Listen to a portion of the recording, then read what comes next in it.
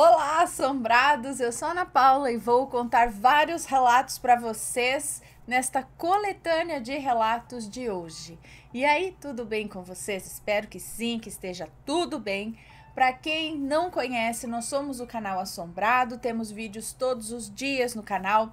Nas noites de segunda a quinta-feira tem relato ao vivo entre 10 e 11 horas da noite. E nas noites de sexta, sábado e domingo, às 10 da noite, tem um tipo ao vivo para vocês. Um, às 11 da manhã, todos os dias, tem relato também. Tem tipo ao vivo de segunda a sexta, coletânea de relatos no sábado, coletânea temática de relatos no domingo. Meio de meia, horário do Matheus, mas logo, logo ele volta com os vídeos, ok, pessoal? Uh, não deixem de visitar a nossa loja virtual, a lojaassombrada.com.br. Você vai encontrar diversos produtos lá que você vai amar. E não se esqueça do like neste vídeo. Deixe o seu like neste vídeo, ok? Bom, dito isso, então vamos para os relatos de hoje desta coletânea. O primeiro deles é este daqui. Seria um lobisomem cão do inferno ou forma pensamento? É uma moça que nos conta. Aconteceu na virada de ano, de 2014 para 2015. Eu e meu marido, que aqui vou chamar de Fulano, sempre conversávamos sobre onde passaríamos as festas de fim de ano. E decidimos então que o Natal seria com a minha família e o Ano Novo com a família dele. Mas havia um problema. Uma das irmãs dele não gostava de mim. Ódio gratuito, sabe? Quando fui conhecê-los, ela foi muito grosseira, sem ao menos ter trocado uma palavra comigo. Ela não se dava bem nem mesmo com a família, sabe? Bom, nessa época morávamos como caseiros em uma chácara e havia feito um ano que estávamos morando juntos. Então, no final da tarde, nos arrumamos e fomos para a casa dos meus sogros. Chegando lá, Fulano foi preparar as bebidas e eu fiquei zanzando pela casa até elas estarem prontas. Tiramos fotos, curtimos bastante e lá por volta da meia-noite e meia, o Fulano disse para dormirmos lá, pois ele havia bebido um pouco e já estava tarde para a gente ir embora. Disse para ele então que tudo bem, pois tinha um quarto a mais na casa mesmo. Estávamos no quintal, meu marido Fulano, minha sogra, minha cunhada, meu cunhado e eu. Então, a irmã dele, a Ciclana, chegou e cortou a conversa, dizendo assim: Eu que vou ficar. Eu que vou ficar com o quarto, e se você quiser que durma no chão. Ela disse, olhando para mim, sabe? Nossa. Hum. Olha, eu tenho um problema na coluna chamado cifoescólios cifoscólios. E não posso dormir no chão, pois eu fico toda travada. Até pensei em dormir, mas eu fiquei com tanta raiva que eu não quis mais ficar ali, não. Infernizei a cabeça do fulano que era pra gente ir embora, pois era muito humilhante ter que ouvir esse tipo de coisa. Eu ficaria mais confortável na minha casa e na minha cama. Após eu insistir muito, nós fomos embora. No carro eu só pensava o quanto eu estava com raiva dela e fui sem dizer uma palavra até chegar em casa. Chegando, então, por volta da uma da manhã, saí do carro para abrir o portãozinho, acender a luz e abrir o portão maior. Do portãozinho até o interruptor dava mais ou menos uns dez passos. Me virei para fechá-lo quando vi, sentado, perto de onde estava o interruptor, um cão ele tinha o pelo com um tom de preto, mais escuro do que o escuro. Era de estatura mediana e tinha os olhos amarelos. Pensei que fosse a nossa cadela, Pandora, que ao ouvir quando nós chegamos, foi nos receber e até disse um Oi, Pandora. Fui em direção ao interruptor e quando eu acendi, não havia nada mais ali. Eu fiquei um tempo parada pensando onde ela teria ido. Bom, fui em direção à porta de entrada da casa enquanto Fulano entrava com o carro e ao chegar na porta vi a cadela deitada na casinha dela. Foi quando me toquei que a cadelinha estava doente, estava muito fraquinha para andar. Então não seria ela. Contei ao fulano que eu tinha visto e ele disse que poderia ser um lobisomem. Eu me arrepiei toda quando ele disse isso, mas ao assistir um vídeo seu sobre o relato de formas, pensamentos ou tulpas, eu me identifiquei, pois quando estamos com raiva, projetamos esses seres. Mas o que poderia ser aquele cão? Eu não sei o que era aquilo, mas só de lembrar me dá um frio na espinha. Observação: a cadelinha foi deixada por um antigo morador da chácara que não quis levar a cachorra e ela, por sentir saudades, ficou muito doente, tadinha. Nós tratamos, levamos ao veterinário, mas já era tarde demais. Ela faleceu semanas depois. Ô dó de saudade dos donos, meu Deus, ai que judiação. Bom, o que, que, pode ter acontecido? Será que esse cachorro estava relacionado também à cadelinha que estava ali sentindo falta? Será que é como nós, seres humanos, ele já estava ali para buscar a cadelinha? Tipo, tem anjos cães que vêm buscar os outros?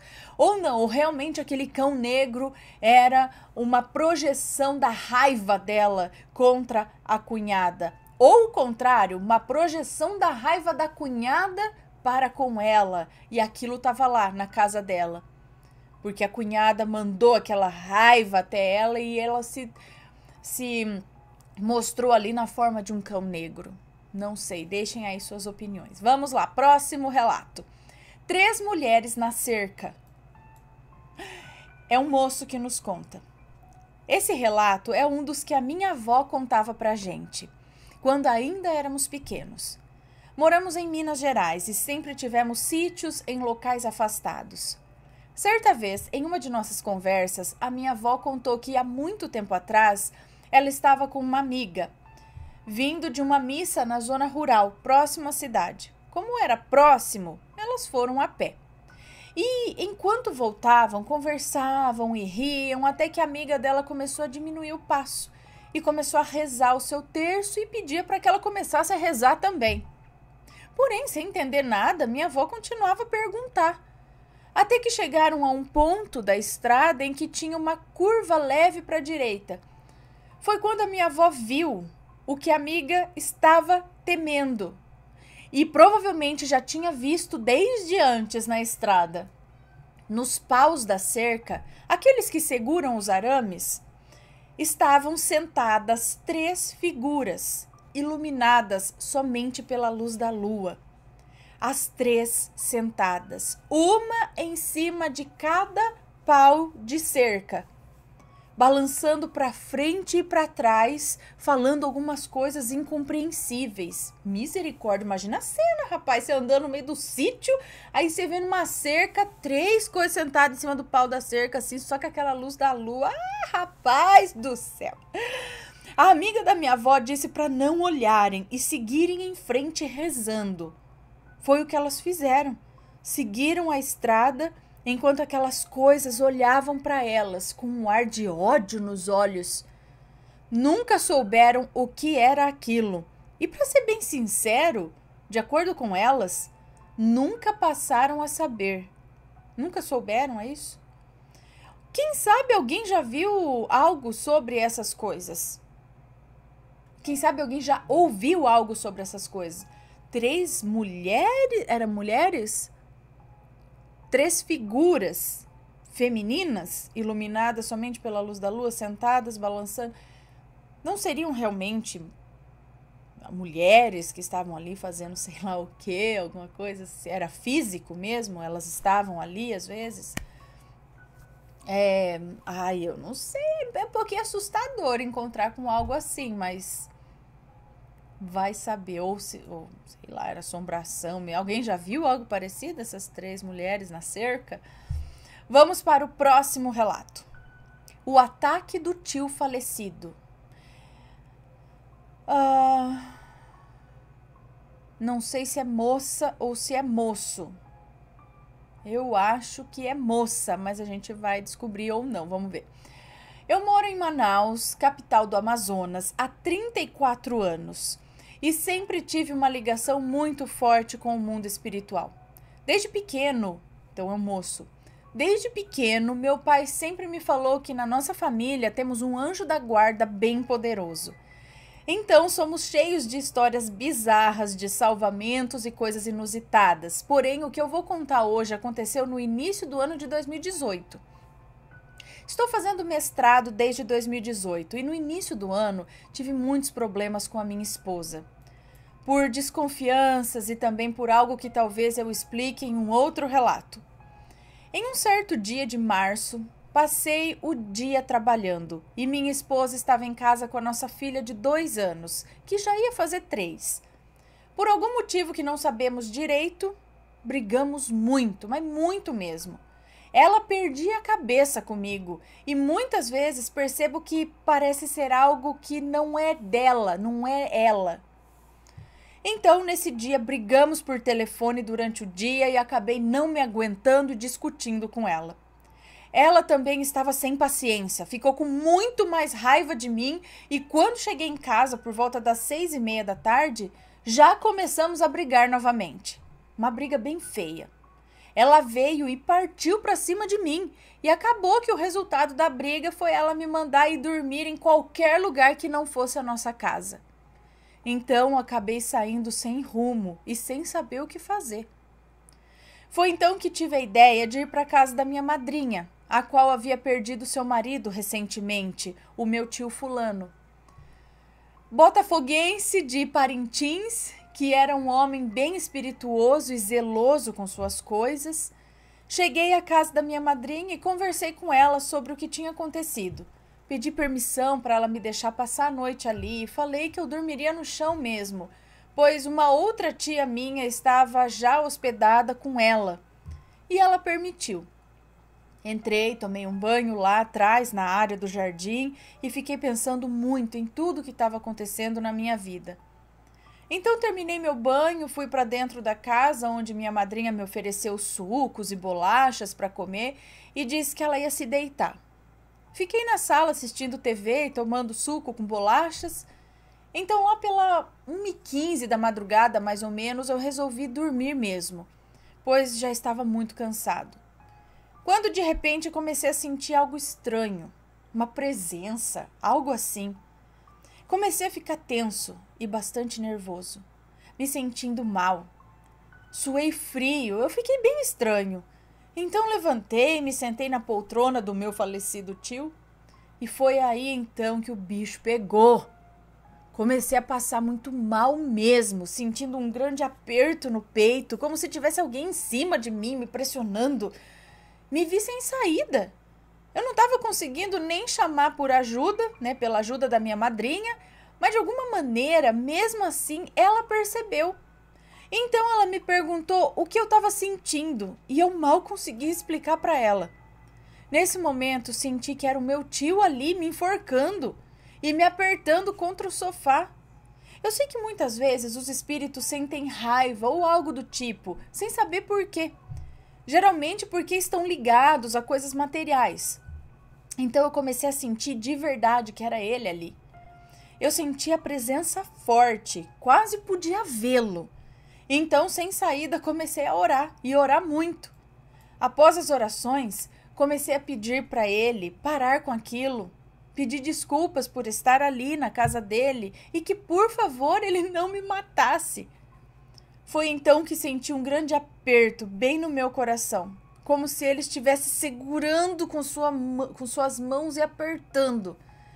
E aí, depois que implorei muito e pedi perdão por estar ali, parece que de alguma maneira isso surtiu efeito e ele me soltou. Aí eu senti a pressão sair de cima de mim e consegui respirar melhor.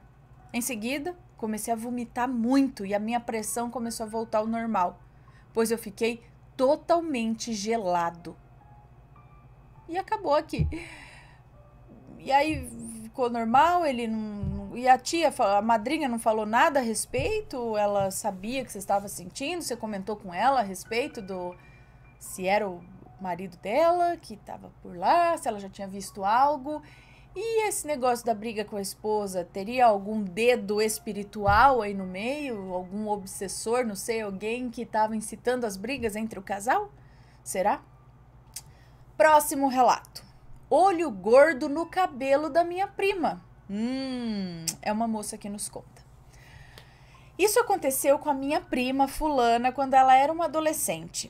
Hoje ela já é casada, tem três filhos, mas nunca se, recuper se recuperou desse ocorrido. A Fulana, lá com seus 15 para 16 anos, era uma adolescente muito bonita e tinha longos cabelos lisos, cor de mel. Seu cabelo era realmente muito bonito. Eu me lembro que sempre que eu ia em sua casa, ela me deixava pentear seus cabelos. E eu, com os meus seis anos de idade, eu amava aquilo. Os anos foram se passando e eu fui notando o belo cabelo da fulana mudar completamente. Estava mais curto, quebradiço. Curioso, eu decidi perguntar à minha mãe o que, que houve com o cabelo dela, né? Então ela me contou o que eu vou relatar aqui. Ela me disse que um dia a fulana estava no passeio de sua casa, na varanda, seria isso? Quando uma senhora passou. A senhora, que claro chamarei aqui de Maledite, ela parou e demonstrou um enorme interesse em seu cabelo, passando a mão e dizendo quanto o cabelo da fulana era lindo, o quanto ela queria ter um cabelo igual e por aí vai. Após algum tempo, Maledite foi embora e Fulana permaneceu onde estava. Mais tarde, Fulana começou a sentir algo coçando em sua cabeça e relatou isso à sua mãe. Minha tia examinou o cabelo da filha e quase teve um ataque ao ver o couro cabeludo da fulana repleto de piolho. Eram muitos piolhos mesmo. Elas passaram o dia todo tirando os piolhos, até que finalmente o cabelo estava limpo. Após isso, Fulana foi até a casa de uma amiga e, quando retornou, os piolhos estavam lá de novo, só que em maior quantidade ainda. Novamente, minha tia limpou, limpou, mas horas depois, lá estavam os piolhos mais uma vez. E isso se repetiu por dias. Minha tia tirava os piolhos da fulana, mas segundos depois eles reapareciam. E cada vez que eles apareciam, os cabelos de Fulana ficavam mais fracos. Então, minha tia resolveu cortar de vez o cabelo da Fulana. Após o corte, minha tia fez uma oração e os piolhos sumiram. Hoje em dia, o cabelo da minha prima está bem saudável de novo, porém, não voltou a crescer como antes. Cara, olha, será que a mulher. Será que a mulher pôs assim? Quem era essa mulher? Ela nunca viu antes? Uma senhora, nunca. Mulher botou aquilo intencionalmente porque aparecer piolho assim, piolho. Se fosse só o cabelo, tipo, secar e cair, você podia pensar em olho ruim. Vai aparecer piolho que nem uma praga, assim, uma atrás. Do nada, porque se tem piolho, dois piolhos que tiver na sua cabeça, um piolho, vai dar uma coçada, já vai dar uma incomodada. Imagina infestado de piolho, ia, ela ia ter percebido isso bem antes, ainda mais com um cabelão bonito, que provavelmente lavava, cuidava. Não é de, um, de uma hora para outra que você vai ver que a cabeça está infestada de piolho, né? E aí limpar, tirar tudo, horas depois. Isso é muito esquisito. Será que tem algum feitiço para aparecer piolho na cabeça da pessoa? Lembra, a gente já leu um relato desse, que a moça teve um negócio assim no cabelo também. Não lembro se era piolho, ou se era coceira no cabelo, o que, na cabeça, no couro cabeludo. Será que a véia fez isso intencional? A véia, essa senhora fez isso intencionalmente? Os piolhos apareceram só pela olho ruim dela, mão, não sei. Não sei. Próximo relato, Minha Guaxinim. Uma moça que nos conta. Eu vou começar a contar a minha história de uma guaxinim de pelúcia. Hum. Eu vou começar a contar a minha história, ou a história de uma guaxinim de pelúcia. Quando eu tinha 12 anos, eu amava bichinhos de pelúcia. Certo dia eu fui até o mercado com a minha mãe e com a minha tia. E a minha tia pediu para eu pegar o açúcar, que ela esqueceu. Como uma ótima sobrinha, eu fui correndo pegar. Porém, peguei um atalho nas prateleiras de brinquedos. Claro, né? Talvez estrategicamente, eu faço isso até hoje. Continuando correndo atrás do açúcar, eu de repente parei e olhei para trás e vi um brinquedo. Era um guaxinim com olhos rosas gigantes. Ai, eu catei aquele bicho e continuei correndo atrás do açúcar. Pegando o açúcar, eu pedi para levarmos o guaxinim. Minha tia decidiu levar e pagar para mim. Eu me senti extremamente feliz, mas quando o peguei depois de comprar, eu senti um arrepio e uma vontade de sair correndo. E só melhorou porque a caixa, uma mulher de 22 anos, me disse: Desculpe, querida, mas você não poderá devolvê-lo. Peraí. Eu me senti, mas quando peguei depois de comprar, senti um arrepio uma vontade de sair correndo. E só melhorou porque a caixa, uma mulher de 22 anos, me disse: Desculpe, querida, mas você não poderá devolvê-lo. Ela disse isso com um tom de voz sério. Nesse momento eu gelei e saí correndo para o carro. Quando cheguei em casa, coloquei o guaxinim na mesa e me joguei na cama. Mas quando me deitei, eu ouvi: É aqui que eu vou ficar? Eu achei que era minha mãe, mas ela estava do outro lado da casa, do lado de fora. Eu olhei para aquele guaxinim, aquela guaxinim, que não disfarçou me observar. E quando eu pisquei, a expressão dela mudou. As pupilas diminuíram e a costura do sorriso diminuiu. Então eu levantei, catei aquele bicho, fui até a minha prima, que estava se arrumando para ir embora. Ela estava na minha casa nesse dia. E eu falei: Toma, prima, essa é a minha guaxinim, pode ficar para você. Ela adorou a guaxinim, que agora estava com os olhos nela. Pedi perdão mentalmente, mas eu, com experiências assim, não queria ter mais uma na minha conta. Depois de três dias, a mãe da minha prima me ligou chorando e disse que infelizmente teve que cortar aquela guaxinim e tacar fogo nela, pois ela foi responsável por coisas terríveis. Eu disse que eu não sabia, que eu só dei para minha prima porque eu não gostei muito do brinquedo. A mãe da minha prima disse que me perdoava, mas que era para eu ficar um tempo longe de tudo relacionado a pelúcias inclusive longe da minha prima e dela. Gente, que estranho. Mas como assim ficar longe de pelúcia? O que, que tem as pelúcias com. Você compra no mercado um brinquedo ele vem possuído? Nunca, nunca vi. E, e aí. Eu não sei. Nunca vi isso. Quer dizer, né? não duvido de nada, mas e a tia falou para se afastar. Por quê? Por quê? Quais, quais os, os, motivos dessas coisas? Expliquem. Próximo relato. Próximo e último. Esse é o último relato desta coletânea, tá? E se chama A Parede que Pega Fogo. É uma moça que nos conta. Desde que me entendo por gente, eu sempre fui muito amiga de uma vizinha minha. Por ela ser apenas um ano mais nova que eu e morar bem do lado da minha casa, nós duas sempre fomos muito amigas. Indo uma na casa da outra, brincando todos os dias na rua até tarde, contando tudo uma para outra, enfim, nós éramos muito amigas mesmo. Vamos, vamos chamar essa minha vizinha aqui de Fulana. Os avós da Fulana tinham um sítio numa zona rural da cidade com piscina, um jardim enorme, campinho e várias coisas legais para se fazer.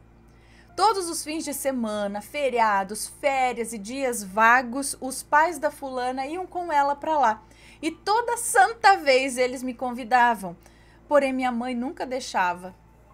A dona Maria, mãe da fulana, que é muito amiga da minha mãe, sempre falava com ela para deixar eu ir, eu ir para o sítio. Só um fim de semana que fosse e que ela ia cuidar de mim e não ia acontecer nada. Porém, minha mãe nunca deixava. Eu não entendia o porquê, mas também não questionava. O tempo passou e eu e a fulana continuamos muito amigas. Até que no verão desse ano, eu com 14 anos, minha mãe deixou que eu fosse passar um dia lá, no sítio dos avós da fulana. Detalhe, eu não ia dormir lá e apenas passar o dia. E lá fui eu, toda pimposa. Durante a manhã é, e parte da tarde, tudo estava muito tranquilo. Eu até estava me perguntando por que da minha mãe nunca ter deixado eu ir para lá com a minha vizinha antes. O terreno do sítio era muito bem cuidado, assim como a casa, que era antiga, porém muito bem conservada, exceto por uma das paredes da cozinha, que era preta de fuligem, como se tivesse ocorrido um incêndio e ela tivesse sobrevivido e continuasse negra de fogo, sabe? Até aí nada demais. Até que em certo momento, no meio da tarde, me deu vontade de ir no banheiro. Quando entrei na casa, aquela parede da cozinha, aquela que era preta, estava pegando fogo. Eu entrei em desespero completo, pois a parede era extensa e ela queimava em ardentes labaredas de cima a baixo. Eu olhei para o lado e a avó da fulana estava sentada na beira do fogão a lenha, do outro lado da cozinha, catando feijão, como se nada tivesse acontecendo. Eu gritei e falei com ela: O que a gente vai fazer? E ela me respondeu na maior calma do mundo que era para eu deixar para lá, que estava tudo sob controle. Quando ela me falou isso, eu pensei com os meus botões: a véia só pode estar tá ficando doida e ter resolvido botar fogo na casa. Eu saí correndo para procurar a Dona Maria, que riu. Riu e falou que era para eu deixar de ser boba e deixar a parede queimar em paz. Hã?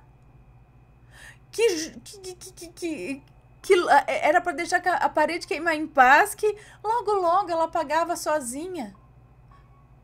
Hum? Aí eu pensei que eu tinha ficado doida e chamei ela para ver a parede. Ela foi comigo até a cozinha, olhou para o fogo e falou que era bom para dar uma esquentadinha na casa. Num tom bem como se eu fosse bobinha, sabe? O desespero aumentou. Eu fui procurar fulana. E quando eu falei para ela que a parede da cozinha estava pegando fogo, ela me xingou e mandou eu parar de ser boba, dizendo assim: "Você nunca tinha visto uma parede pegar fogo na vida?" Uai. Eu concluí então que eu não estava ficando louca e que todos estavam vendo fogo na parede, mas eles tratavam aquilo de forma normal. E aí eu resolvi eu mesma apagar aquilo. Peguei um copo de água e taquei na parede. Conclusão: o fogo não apagou. E no lugar que a água pegou, o fogo aumentou a intensidade por alguns segundos e depois se normalizou. Depois dessa tentativa, eu saí da casa, me sentei na varanda sozinha, pensando que eu eu não deveria ter ido para lá de jeito nenhum. Até que se passaram uns 20 minutos e a fulana veio me chamar, pois já estava na hora de ir embora. Fiz questão de entrar em casa mais uma vez e dessa vez o fogo da parede estava num processo assim para apagar, com apenas algumas labaredas ainda vivas ali. Quando cheguei em casa, eu contei tudo para minha mãe, que acreditou em mim. E só aí foi me contar o porquê de nunca ter me deixado ir naquele sítio antes. Ela já tinha ouvido falar daquela tal parede que pegava fogo e que todos na casa tratavam com normalidade. Ela disse que já tinha ouvido de várias outras coisas muito estranhas que aconteciam por lá. E como eu sempre fui muito sensitiva, ela tinha medo de que eu acabasse vendo alguma coisa e ficasse aterrorizada. Minha mãe me disse também que nunca teve certeza dessas histórias, mas também não duvidava. Porque sabia que quando mais nova, a avó da fulana era adepta a bruxarias, que praticava sacrifícios, gente, e ouvia até rumores que ela tinha vendido sua alma por coisa ruim. E minha mãe preferia não arriscar, né? Quanto à minha amiga fulana, nós continuamos nos falando e sendo amigas, mas daquele sítio eu nunca mais quis saber. Ai, tá vendo quando a mãe fala, tem alguma razão, não era à toa que ela não deixava aí não, tinha coisa estranha. Mas gente, o que aparece a parede pegando fogo?